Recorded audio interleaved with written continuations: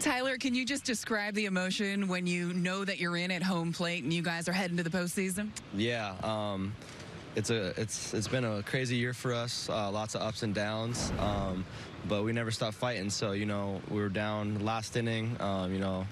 And uh, that's the guy you want up right there. You know, Judges had an unbelievable year, and uh, I knew he was going to come through, and I was doing my, everything I can to score for him and uh, get us to the postseason. So yeah, I'm happy that we're going, and we're not done yet, but um, hopefully take this momentum into Boston and take care of business. I know it happens in a split second, but when you see that ball off of his bat, what's going through your mind? Or are you already in motion running towards home plate? Uh, well, uh, this, wow, I didn't even think about it.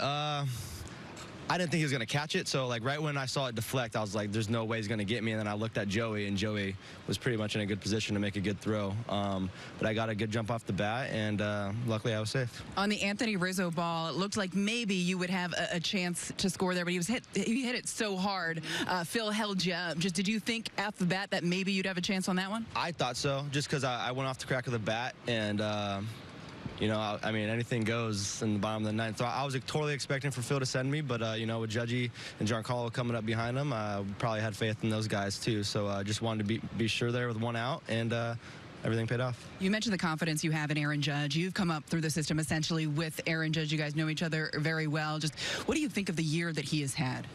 MVP year. It's just such a quiet MVP year. Um, you know, Vlad and Ohtani has had they've had unbelievable year, but uh, you know, Judgy does it year in and year out. He's been healthy all year, and uh, you know, I'm happy for him, and uh, he's just getting started. How much have you been enjoying this?